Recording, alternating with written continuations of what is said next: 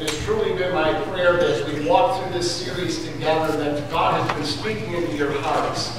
As we looked at the first three facets of If My People, we discovered that first of all, there needs to be humility of heart. Then we need to express ourselves and also listen to the voice of God through the avenue of prayer. And there has to be that quest to be where God is at, to seek his face. Not always asking to be in our presence, but for us want to be in his presence as well. And today we'll look at the fourth aspect, that being a heart of repentance. Second Chronicles 7.14 If my people who are called by my name will humble themselves and pray and seek my face and turn from their wicked ways, then will I hear from heaven and I'll forgive their sin and I will heal their land. You may have heard the story of two brothers that were notoriously getting themselves into trouble. The oldest finally started a fire in one of the school classrooms, and at that point the parents decided they needed to do something drastic. So they took this young boy, only 10 years old at the time, to the pastor. And they asked the pastor if he would somehow scare sense into this young man. So the boys in the pastor's office, and the pastor's at his desk, the boys on the other side, in fear and trembling, of course, because he's called into the pastor's office, not the principals, but the pastors. And all of a sudden, the pastor just posed the question, Boy, where is God? He just kind of looked frightened. So the pastor waited a few moments, and he said, Boy, I asked you a question. Where is God? Still, they had no answer. So the pastor slammed his fist on the table and said, I asked you, where is God? And at that point, the boy jumped up. He ran out of the church. He ran home, went upstairs to his room, started packing his suitcase. And the young brother said, Well, what are you doing? He goes, I'd pack too if I were you, because the church has lost God and I know you're going to blame us for it. well, sadly to say, there's a host of churchgoers that can talk a great deal about knowing God and having a relationship with God, but I wonder if they'd even recognize Him if they ran into Him in the church lobby. Has the church lost God? Has the church chummed so closely to the world that, that they no longer have an identity? There's nothing that really separates them from the culture that's around them. You know, last week we talked about seeking God with all of our heart and tuning out those distractions that can draw our lives away from God. Today, we're going to focus on this fourth requirement, turning from our wicked ways. You know, I think of the Peanut comic strip where Lucy and Charlie Brown are practicing football. You're well it, right? Every time Charlie Brown goes to kick the football, what does Lucy do? She picks the ball up, Charlie Brown misses, falls flat on his back. Well, in this particular comic strip, Charlie Brown isn't about to kick the ball. Lucy is begging him to kick the ball, and he refuses. And he finally says, why should I? Every time I go to kick the ball, you pick it up, and I fall flat on my back. And as they go back and forth for a little bit in this conversation, finally Lucy says, oh, Charlie Brown, I have to admit that you're correct. I've been so terrible to you over the years. Pick up the football like that. I played so many cool tricks on you, and right now, through this conversation, I have seen the errors of my ways. In fact, I've actually seen the hurt look in your eyes every time I've done this to you, and I've deceived you, and you've fallen on your back. I've been wrong, so wrong.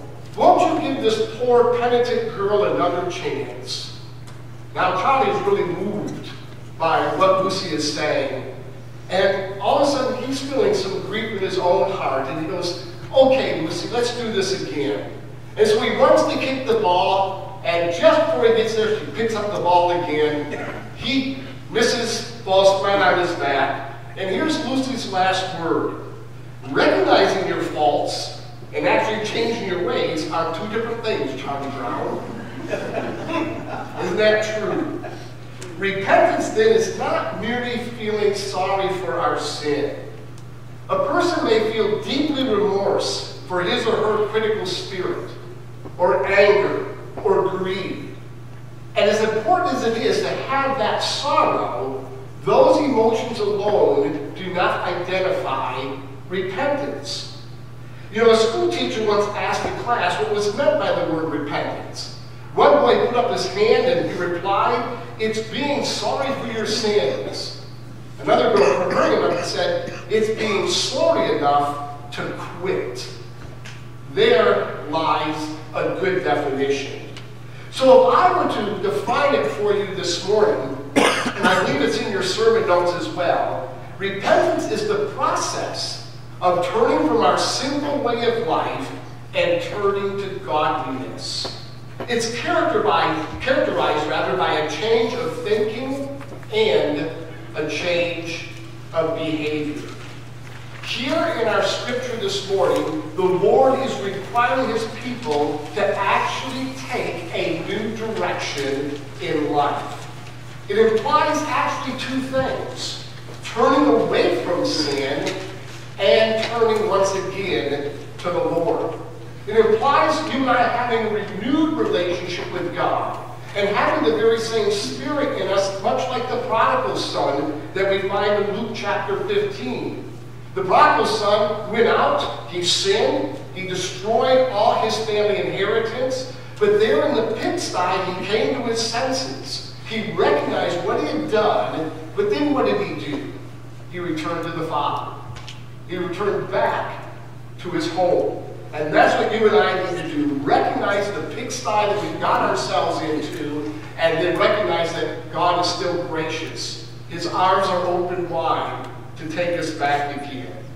However, the path to repentance often leads us through dark periods of self-examination and painful surrendering of our selfishness and our pride.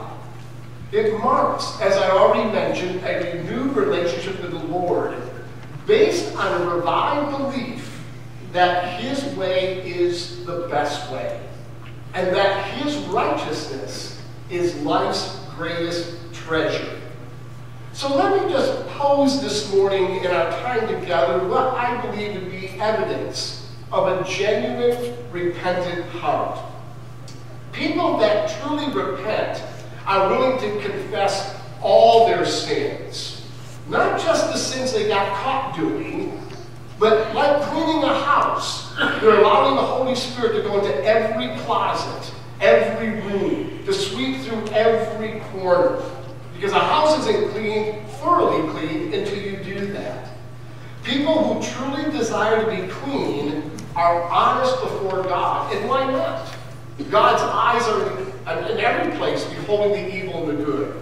He sees us through and through. We can't hide anything from Him. So those that truly repent come honestly before the Lord. And then repentant people face the pain that their sin has caused others. Repentant people do not give excuses for their actions. They don't pass the buck. They don't shift the blame. They made a choice, and in that choice, people were hurt. And so they take full responsibility for their behavior. You see, without genuine repentance, there truly can be no pardon. I was reading as I was putting this message together that years ago there was a murderer who was sentenced to death. However, his brother was a very clear and deep friend of a state senator. So he went to the senator and asked if there would be any way a pardon could be given. And because of friendship and because of some of the things that this brother had done in the past, a pardon was actually given for this murderer.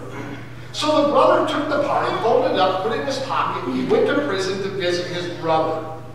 And as he was there at that prison place, he posed a question. He said to his brother, What would you do if you were given a pardon? If you were able to be set free from prison? The brother responded, The first thing I would do is to track down the judge who sentenced me and murder him.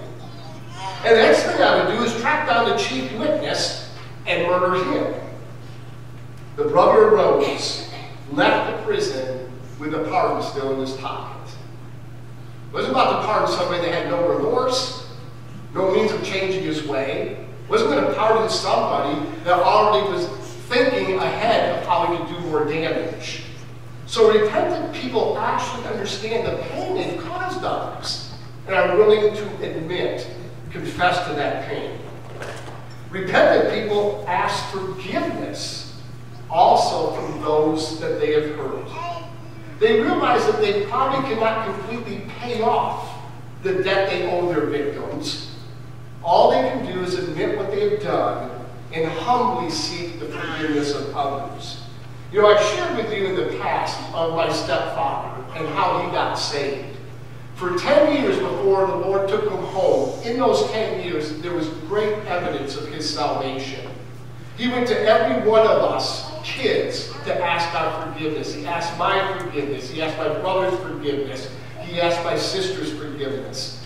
However, my older brother, not being a Christian, had a hard time forgiving. My younger sister, he raped. She had a hard time forgiving. In fact, if you were to talk to my sister today and you reflect upon my stepfather, she does not call him by name today. She calls him it. She can't even bring out saying a name. That's how deep the hurt was. However, my stepfather tried to make things right. Still bearing the scars of what he did, still accepting the situation because of what he did.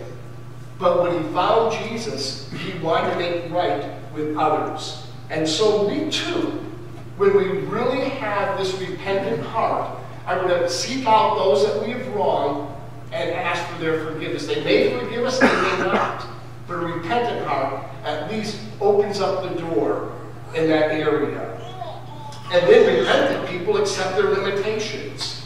They realize that the consequences of their sin, including even the distrust that they created, may last a long time. In fact, it may last the rest of their lives. And they understand they may never enjoy the same freedom that other people enjoy. They must set up God-designed boundaries to keep them from stumbling. And then repentant people know that they serve a merciful God who delights in giving second chances. Hear amen to that? I think we're all here, not just because of a second chance, but as I mentioned in our Bible study with the men yesterday, because of third, fourth, fifth, sixth chances that God has given us.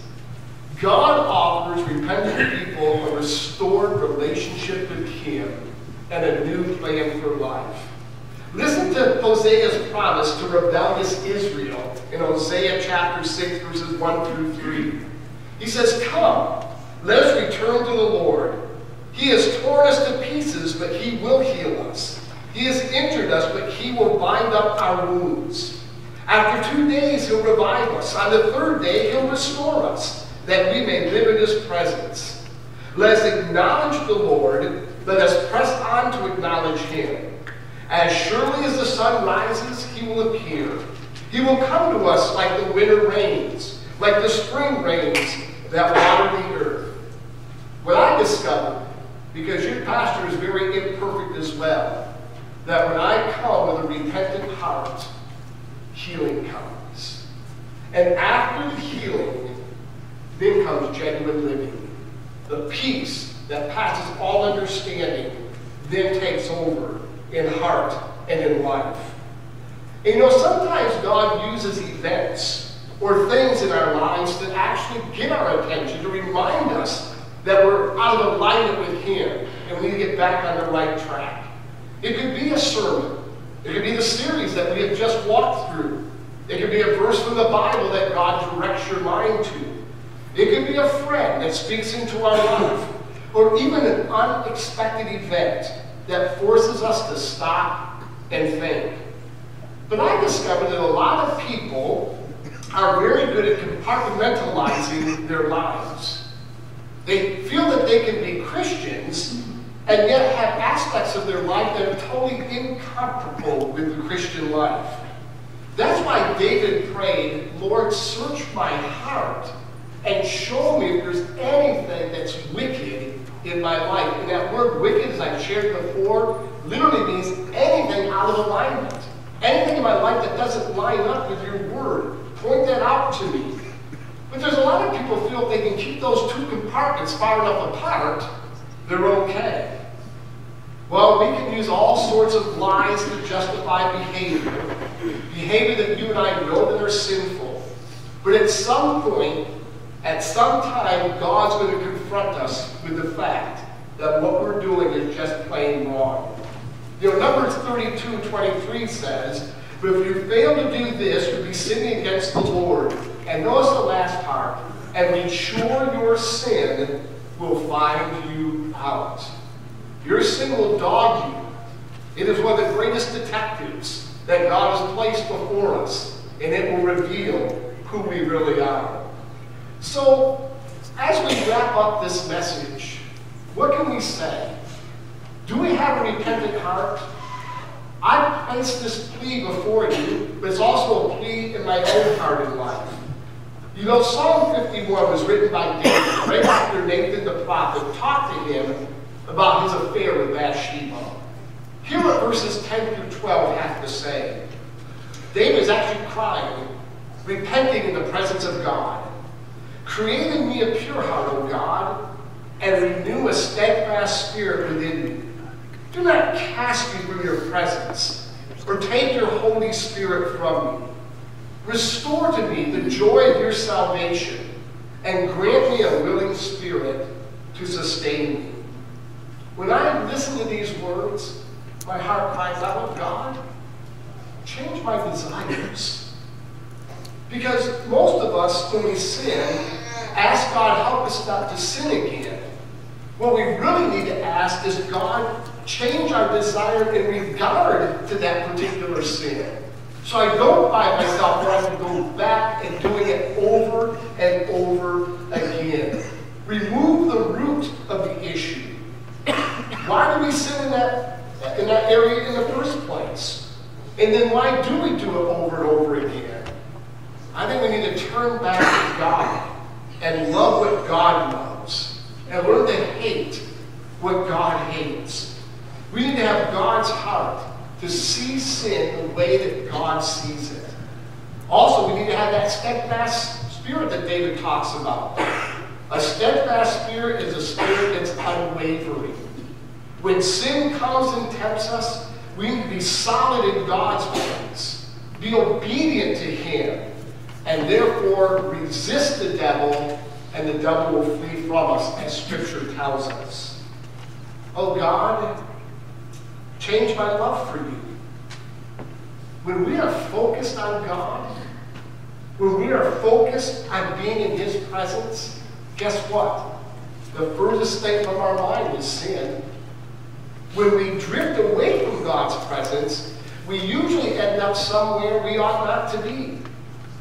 God has given us His Holy Spirit.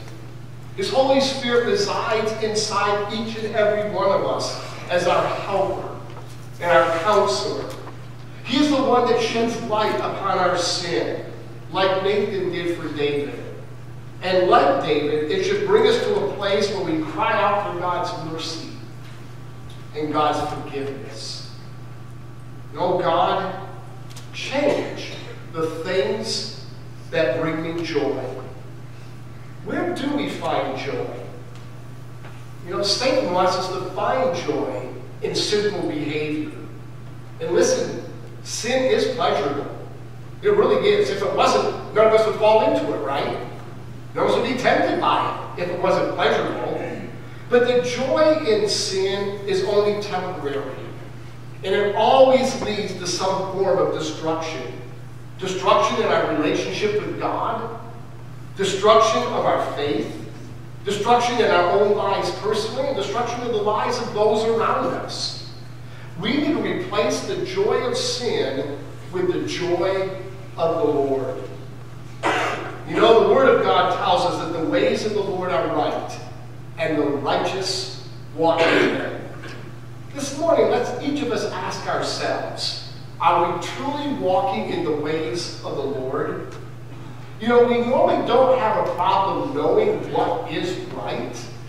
I think we have a problem doing what is right. Would you agree with that? It's not the knowing, it's the doing. You know, I think of a husband and wife traveling in a car, and the wife tells her husband to turn right at the next junction, and by mistake, he turns left. When he realizes what he has done, he says to his wife, Hey, honey, I, I, I'm really sorry. I, I love you, and I went the wrong way. But if he continues going down that road the way he's headed, not only is he going the wrong way, he's getting further and further away from his destination. What does he need to do?